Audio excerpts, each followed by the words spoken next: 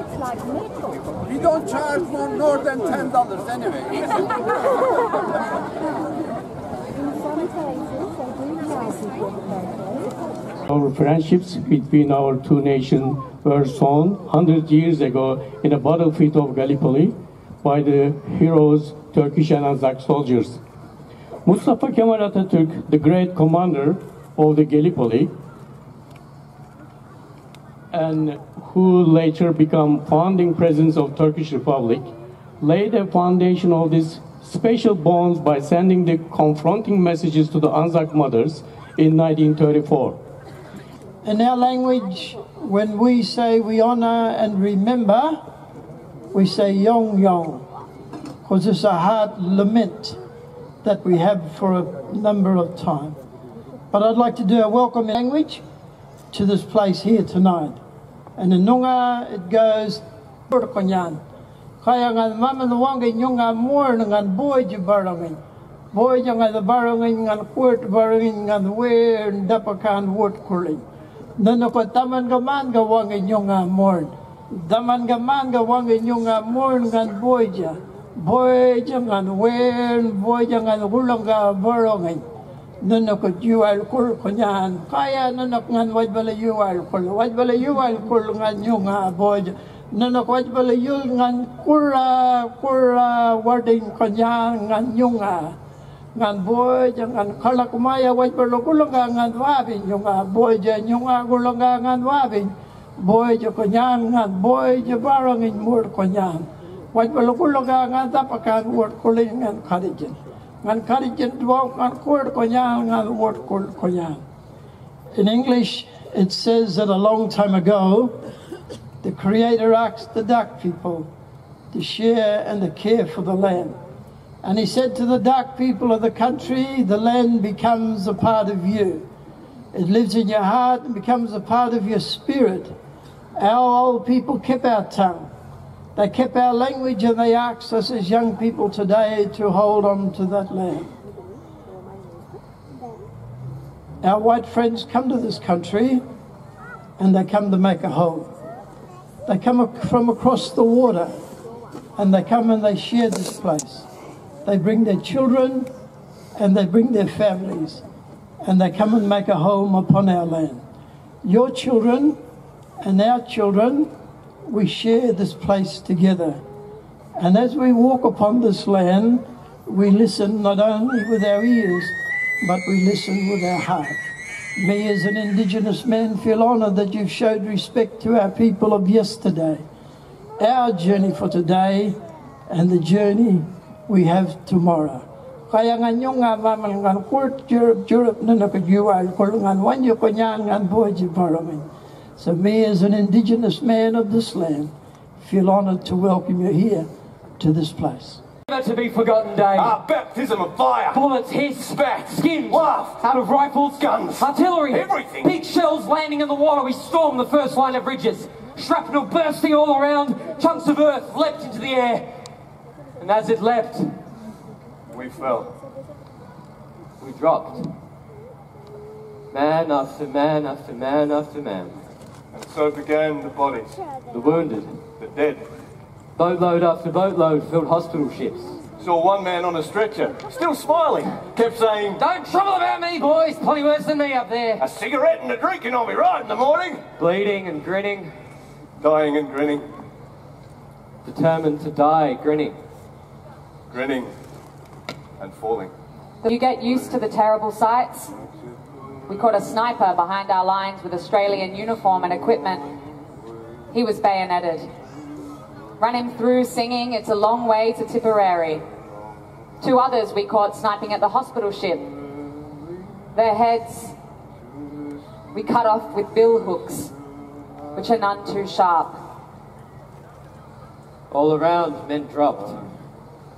Them, us, like flies, like rain.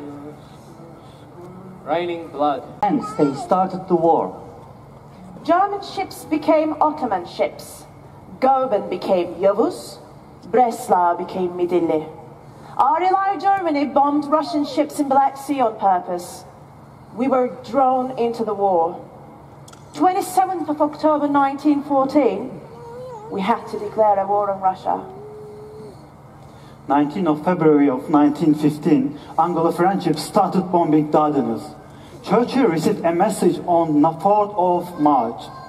The fleet could expect to arrive in Istanbul within 14 days. The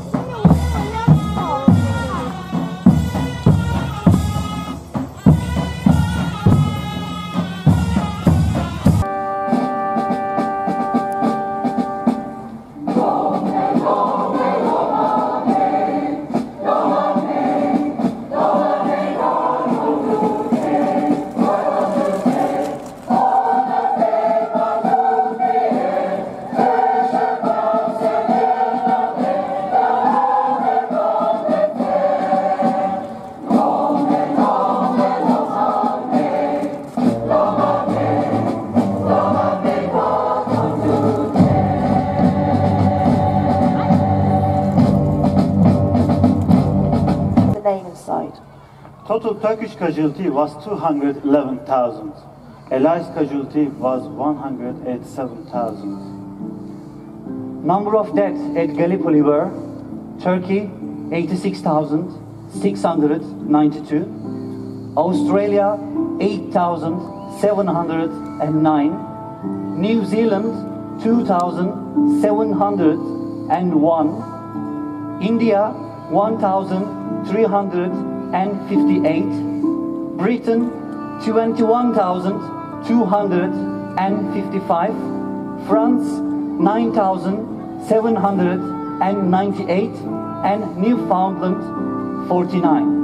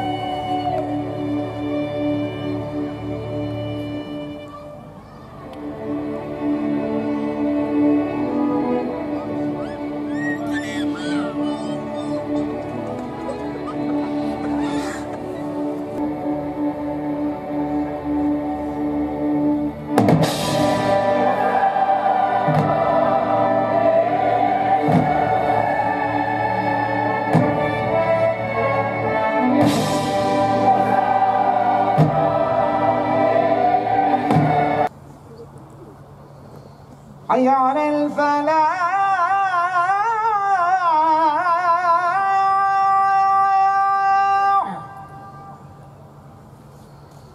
حي على الفلاح.